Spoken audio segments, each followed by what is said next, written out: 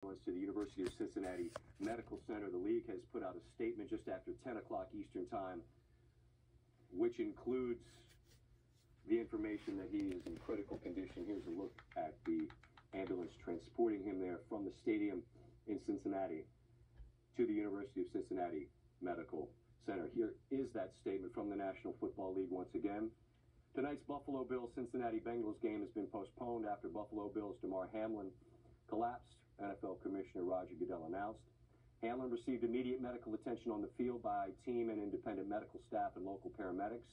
He was then transported to a local hospital where he is in critical condition. Our thoughts are with Damar and the Buffalo Bills.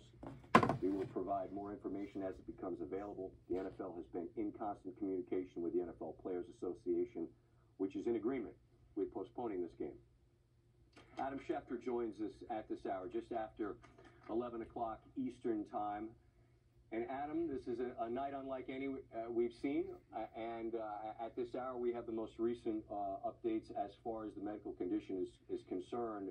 Uh, what can you share in terms of how this, how the decision was, was reached? Because initially it appeared that there was going to be some attempt to continue to play this game.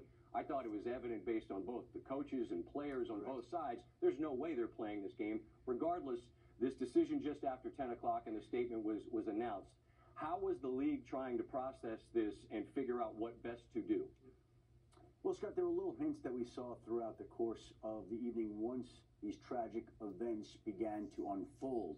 And initially, there was an announcement that game could resume a short time later when it became apparent to a lot of people that there was no way that they were going to be able to play this game. Later on, you saw the NFL executive, Dawn Aponte, gathered in the tunnel with two voices of reason, I would imagine, the Buffalo Bills head coach Sean McDermott and the Cincinnati Bengals head coach Zac Taylor. They continued to exchange the phone, which I presume was connected to the league office on Park Avenue, where they reached the decision, obviously, rightfully, logically, to postpone this game where nothing mattered until we had an update on the condition of the Buffalo Bill safety Damar Hamlin. And a short time after that, the NFL released a statement in which it said that Damar Hamlin is in the hospital and he's in critical condition. And really, Scott, that's all that anybody cares about right now Agreed. is Damar Hamlin and how is he doing. And what we know is that he was taken to the hospital. His mother was with him. We've seen videos of his mother on social media. And right now, essentially, he's in the hospital. He's in critical condition. There has been an outpouring of support across social media in the day and age that we're living in. This is how people weigh in and express their thoughts. You see a post from the Buffalo Bills about all the prayers from Damar Hamlin. If you take a look in that post, it seems as if every team in the National Football League and every player in the National Football League has posted at some point in time thoughts and prayers for Damar Hamlin, which is why essentially they couldn't play this game, and it was never realistic to be able to play this game. And it took them forever how long to figure that out that they couldn't play this game. But there's no way that players, having seen what they did, having reacted the way they did, could go out there and compete on a playing field until they had an update on the condition of their brother. That was really the most important thing. And right now he's in the hospital, and you just hope and pray um, that he's got the best medical care there that he can possibly get, and that they'll be able to take the best possible care of him.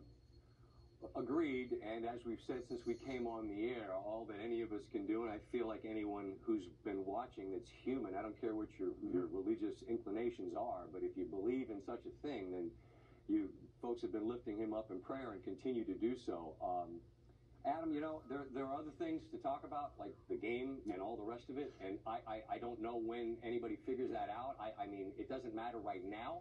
At some yeah. point, it will, and I don't know how or when those determinations get made even with an update yeah. about the condition of the play. I just I can't fathom how. Yeah. Like I don't know what you do here. Eh, you, you, you can't fathom, and you shouldn't fathom, and it shouldn't really matter right now because essentially, again, it's about him. And Scott, from the moment you went down, you knew that this was a different type of situation Yep. that we're used to seeing on the football field. You saw the reaction of all the Buffalo Bills players. You saw the tears. You saw people holding their faces, turning away. They couldn't bear to watch it. You see an ambulance come onto the field. Now, there have been incidents in the past where we've seen ambulances come onto the field, but it is certainly not a common occurrence.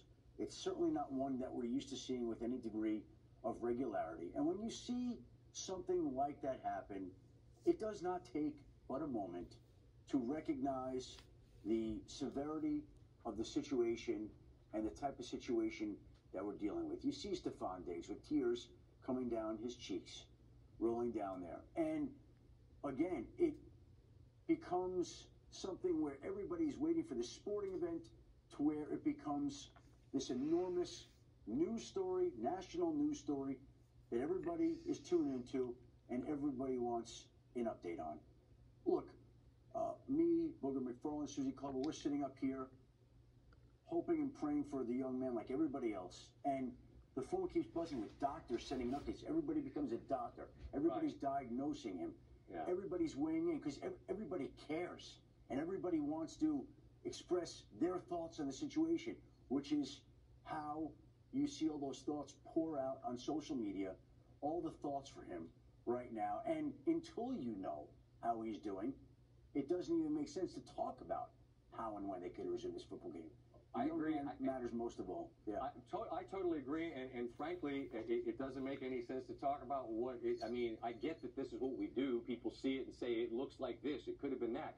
Well, I'm, I, all I've been trying to do since we've come on is tell you what we know, and, and Yeah, that's, of the, course. that's the best that any of us can Yeah. do is share what we know as we know it. Go ahead, get one last thought. Yeah, you know, and, and, and there are little things. So now everybody's getting to know Damar Hamlin on social media in a way that they didn't know him before. There are people that knew him, but not like not the way they do right now. There is a toy drive that he initiated where his goal was to raise twenty five hundred dollars, and tonight I think that total is over seven hundred fifty thousand dollars as we speak because people are pulling from and want to do what they can to support him and his friends and family. They are desperate to reach out and pull this man through and hope that he's okay from this situation that was chilling and scary and frightening for everybody who watched it unfold on ABC. It's one of those things that you'll always remember seeing on national TV, and you just pray that the young man is going to be okay. Yeah, let's hope that this is that, that there's some positive news at some point here. Adam Schefter, uh, appreciate your time this evening. Thank you. Thank you, Scott. We have this statement from the National Football League Players Association, the NFLPA, and everyone in our community is praying for Damar Hamlin. We have been in touch with the Bills and Bengals players and with the NFL. The only thing that matters at this moment is Damar's health and well-being.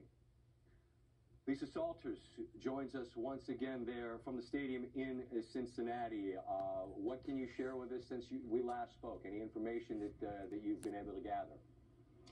Not much, Scott. Uh, Are uh, have been coming out of the locker room after having showered and put their street clothes back on. Uh, so far, it doesn't appear that their buses have arrived, so they're just kind of mingling out there by the locker room, not really doing much of anything, just kind of talking to each other, eating what little bit of food is around. Um, but as you can imagine, they're they're still processing this, like like all of us are. Uh, and I was just thinking about this that, you know, it was just three hours ago, Scott, that, like you said earlier, we were, you know, looking forward to kickoff. This was going to be the, you know, the, the game of the year for Of us. course. We were so looking forward to this matchup, and then everything changed like that. Uh, just imagine how these players are feeling with all the hype surrounding this game, leading up to it. They're all fired up, ready to go, and to